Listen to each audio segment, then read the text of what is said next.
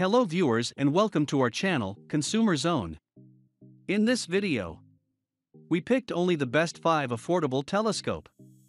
By comparing hundreds of products based on a few criteria and ranked them. For example, features of the product, manufacturer's reputation, value for money, and most importantly, user feedback. If you choose from this list, you can be rest assured that you are buying the best product.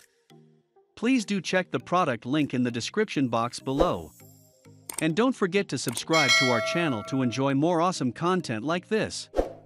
So without any delay let's get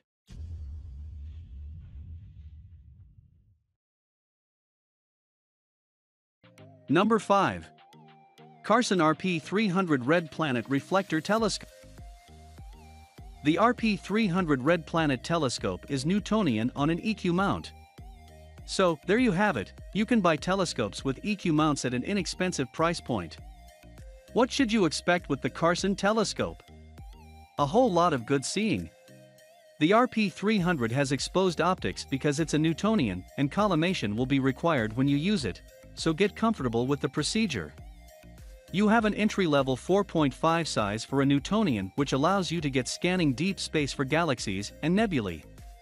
It has an f/8 approximate focal ratio, so it's right within the realm of providing good, all-purpose viewing. There are faster Newtonians for a wider field of view, but the slightly longer focal length may be a blessing in disguise. I highly suspect it has a spherical primary mirror, so this should be minimized thanks to the medium speed. The EQ mount allows you to keep objects within your field of view and requires a learning process, but it's worth it if you want to track stars. It's a light-duty mount with a good tripod, but it won't hold heavy loads without compromising the setup. It's sort of a moot point since it's not really an astrophotography scope, and it takes lighter weight 1.25 accessories anyway. Eyepieces may need an upgrade if you want planetary views, but it's not really set up to be a planetary telescope from the start. With that in mind, you may very well find the included accessories satisfactory. As an entry-level telescope with EQ movement to do a little more tracking in the sky, the Carson Red Planet Scope is a welcome addition to the market. Number 4. Celestron Astromaster 70 AZ Telescope As a very affordable telescope on the budget end of the spectrum, you should know a thing or two about it before you buy. Here's the sweet and sour about the Astromaster 70 AZ telescope. The Astromaster 70 optical tube is priced as low as you want to go before you risk further compromise on quality. As you can guess, the real quality comes from the optical tube, and less with the mount, and this may be a major compromise. The OTA has a closed tube since it's a refractor and this is a great selling point for beginners. It's a slow telescope, and we can tell this by its f/13 focal ratio. Unfortunately, resolving power at high magnification will be difficult to achieve since it has a small aperture of 70 mm. So, the best planetary views will be achieved with low-medium power instead of high magnification. The mount has some odd design quirks that limits its usefulness. It's a functioning mount and tripod for visual use, but you'll be out of luck when asking for more versatility and performance above its basic functions. The Celestron telescope comes with all the accessories. They're not the best out there, but they do work well with the setup. This is a noteworthy feature as most included accessories are useless. This scope isn't perfect, but it functions and provides good performance for its price point. When you're looking to spend as little as possible, there will be compromises, but there are good options out there like the Astromaster. Number 3. Orion SkyQuest XT 4.5 Dobsonian Telescope. The SkyQuest is a 4.5 Dobsonian. It's small enough to be placed on a table if you want, but it's also large enough to be placed directly on the ground. The entire setup weighs less than 20 pounds, so it's not a bad setup for travel. What about the optics? Let's zoom in. As a Newtonian on a Dobsonian style base, it's easy to move about. With the larger size, the mechanical upgrades will be appreciated. A carry handle for easy, one-handed transportation has been put into the design, and Orion's correct tension friction optimization system improves secure attachment of the tube to the rest of the assembly. No need to disassemble for travel. You may still need to collimate it, and it's great to see that you can. Orion even includes a collimation cap to make it fast and easy to get it done. Beginners, you'll learn how to perform this essential procedure. The OTA houses a 4.5 spherical primary mirror with a medium f/8 focal speed. While a spherical mirror would normally ruin a fast Newtonian's viewing quality, the SkyQuest has a slightly longer and thus more forgiving focal ratio. Spherical aberration should not be concerning.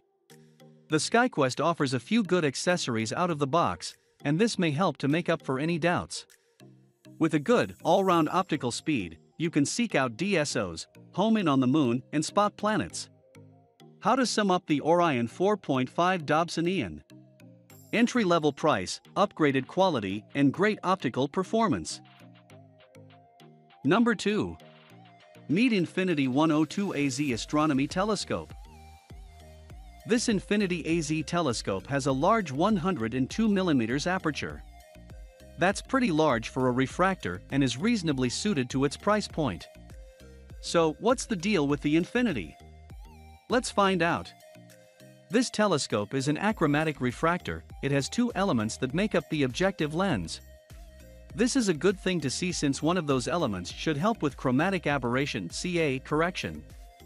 But don't get your expectations too high as there is still some color fringing and mediocre accessories will exaggerate the effect. The 102mm-4 aperture is plenty big enough to start earning some experience in DSO observation. With a fast focal ratio of f/6, you'll be able to achieve a good field of view to catch some of the larger deep space objects. What's the deal with the mount? The good, it's a simple AZ mount with slow motion controls for fine adjustments to the telescope's aim on an object. The bad, it's too light duty to do anything serious with it. However, for visual use, it'll work fine for casual observations. You can get into instant terrestrial observation since Meade includes an erect image diagonal. To dispel any disillusions about portability, it weighs a light 12 pounds, approximate, but has a long tube of 34. Not bad, but if you plan on flying the skies the length will be something to think about. All in all, the Infinity 102 is a good starter scope at a decent price considering the extra perks versus the drawbacks. Number 1. Orion Starblast 4.5 Astro Reflector Telescope. The Starblast 4.5 Astro is the perfect example of how you can get more aperture for your buck versus a refractor. With an extra inch or two on this reflector, you can set your sights on those elusive DSOs. Plus, the Starblast has a 4.5 aperture with a fast focal ratio of f/4. Immediately, this is a telescope that is good for wide fields of view with excellent low to medium power performance. Great for DSOs and examining the moon. What the extra 100 bucks get you in this tabletop Newtonian is optical quality.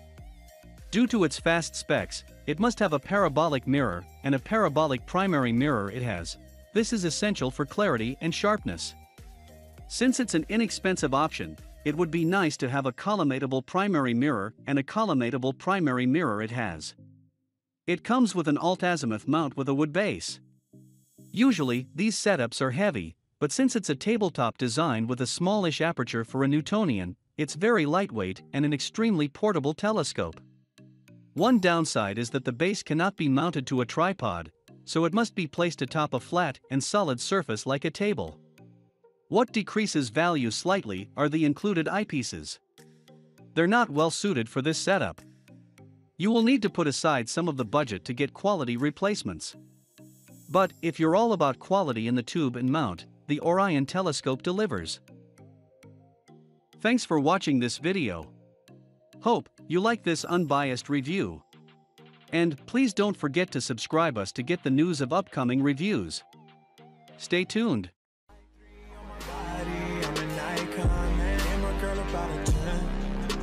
fuck her